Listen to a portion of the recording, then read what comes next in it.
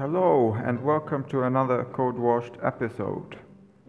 Suppose that you want to have two different processes running on your computer and they have to share data with each other. In this video, we will take a look at how to do that. We will do an example in C++ using the Boost interprocess library, where we run two executables, each in its own separate process, and have them use a shared memory. Let's begin.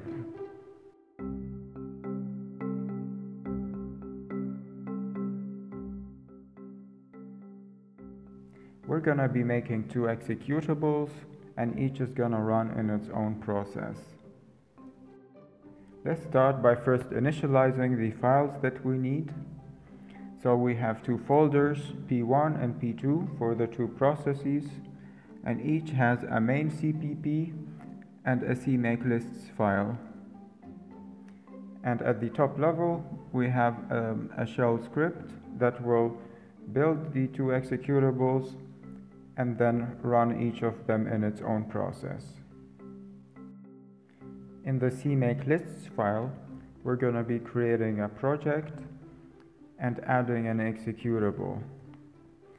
Since we're going to be using Boost, it's important to also include the Boost directories and link to the library.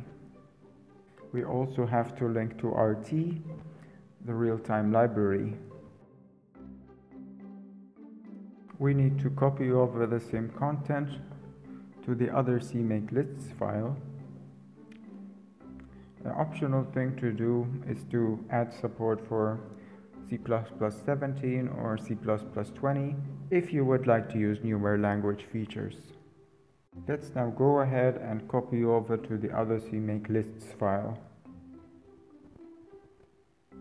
Next, open up the shell script and let's add the commands to build and then run the two executables. Here we're running P1 and then waiting for it to finish and then running P2. We will start working on P1 and P2 shortly. Basically P1 is gonna create the shared memory and then P2 is gonna access the shared memory and then delete it when it's finished. Since we have to run this script, we should also add the execute permission to the script file. Now let's open up the two main.cpp files side by side. I have P1 on the left and P2 on the right. Let's start with writing the main function for P1 We'll add print statements so that we can see when main has started and finished executing. Then let's add the headers that we'll need. We need IO stream because we're printing out things. For the shared memory functionality, we're going to be using Boost. So we have to include the mapped region and also shared memory object headers. Let's jump back to main. So what we want to do is create an instance of shared memory object. We will pass three parameters to the constructor. The first one is create only, which specifies that the memory has to be created. It should not be already existing when calling this code. The second parameter, we have to specify a name for the uh, shared memory. The third parameter is the mode. So we, we want to be able to read and also write to the memory. So here we're specifying read write. Then let's set the size of this shared memory let's set it to 1000 bytes what we need to do now after creating the shared memory we need to map this shared memory into the process Once we do this, the shared memory is available for use. What we'd like to do is to set all the bytes in this shared memory to 1. So we'll do this by calling memset and providing the address of this region and also the number of bytes. Okay, so the first process is now creating the shared memory and setting all the bytes to 1. Let's now go ahead and write the main function for the second process. We'll start out by simply copy and pasting the main function from process 1 and then doing some modifications there.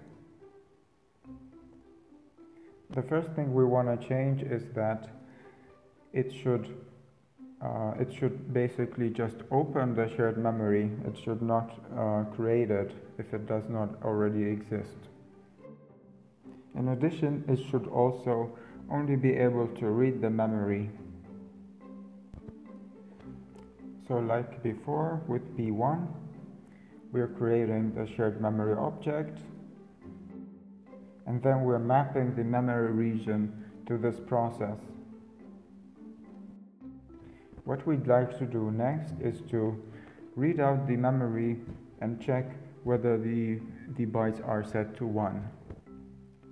So to do that, first let's get the address of the, uh, the first byte in this memory region. We can do this by using the getAddress function and then we will loop over all the bytes and check whether they are all set to 1. But let's skip the check for now. Before exiting main, we should delete the memory region. So let's go ahead and do that and then let's try to build. So go to the terminal and call our build and run script this will build the two executables and then run P1 and then wait till it's done and then it will run P2. Okay, great. So it's working as expected. You can see the printouts below.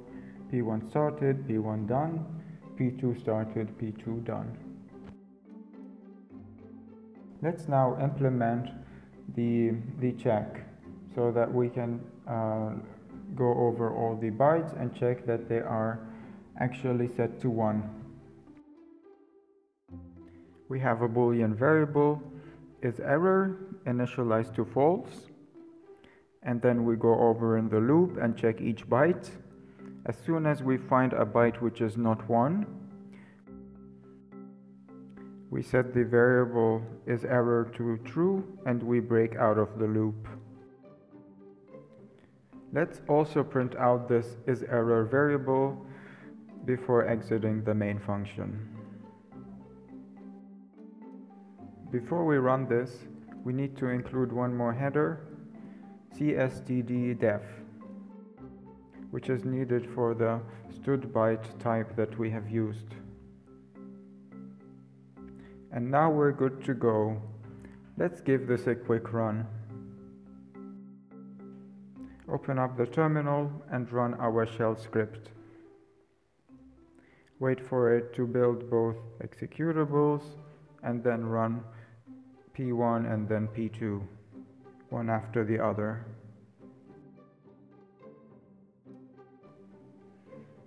And now it's done and we can read out the results. It seems to have worked like expected. P1 started, P1 done, P2 started, P2 done.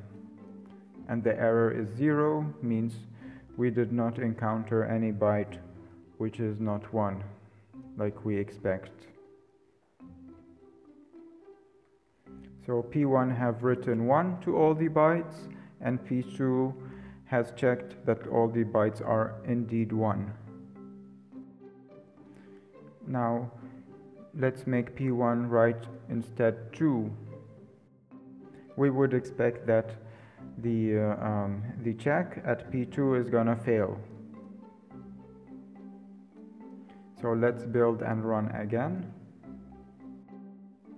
Okay, so now the error is not 0 as before, it is 1.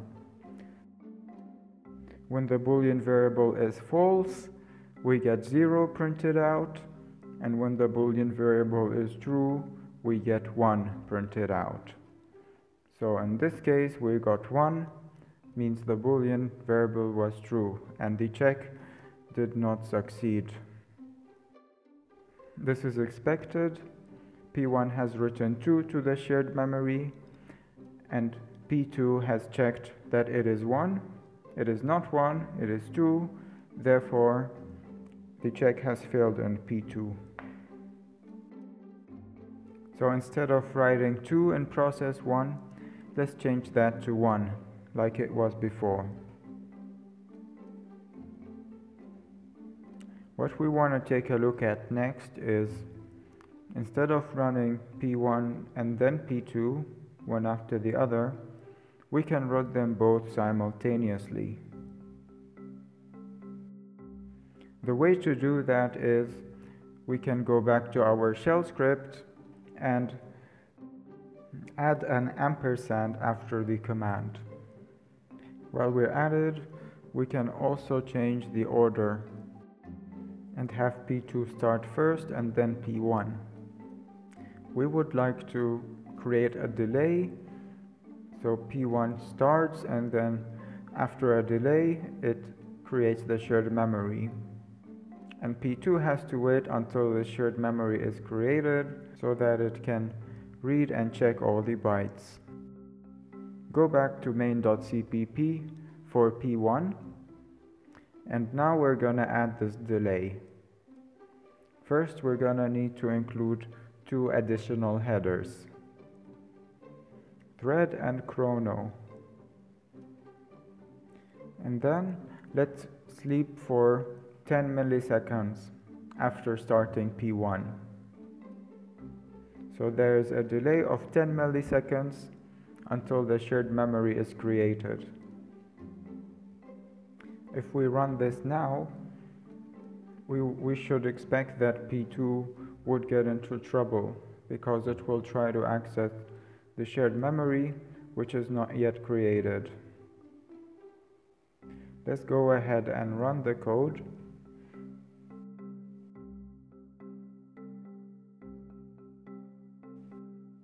Now take a look at the printouts. So P2 has started first and then P1 has started. We can see that P1 was able to complete executing. As for P2, we don't see the P2 done printed out. We can see that there's some error, some exception thrown. So boost interprocess exception. So when P2 tried to access the shared memory, uh, the exception was thrown and we haven't caught this exception anywhere so the program crashed. What we'd like to do next is to actually handle this exception. So let's add a try catch block. Inside the try we will attempt to access the shared memory and map the memory into the address space of the process. And inside the catch, we'll print out a failure message. We want to keep trying inside a while loop until we succeed at accessing the memory. Go ahead now and run this code using our shell script. So during this 10 milliseconds delay, P2 was trying to access the shared memory, but it was not yet created. P2 prints out the error message over and over, until finally it succeeds at accessing the shared memory. We can see in the end P2 done is printed out and the check has succeeded, the error is zero. We can make a little drawing of this. First we have P2 and then P1.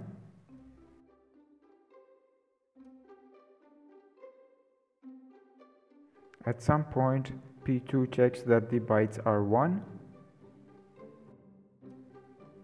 but before that P1 actually writes 1 to all the bytes. Now there is another possibility. What about if P1 sets the bytes at a later point in time, after P2 checks them? So in that case, the check will fail. To create this effect in the code, let's simply add a delay before setting the bytes to 1. First let's set the bytes to 0 and then add a delay of 10 milliseconds before setting them to 1. Let's run this. We can now see that the check has failed. To fix this, we're gonna need some kind of synchronization mechanism. P2 should not check the bytes until P1 is finished setting them to 1. This is actually a classical producer-consumer problem, as it is called in computer science. We will cover this in the next video, and we will see how we can have P2 Wait until P1 is done writing the bytes. I hope you found this video helpful. Leave a comment if you have a question or a remark, and I'll see you in the next video.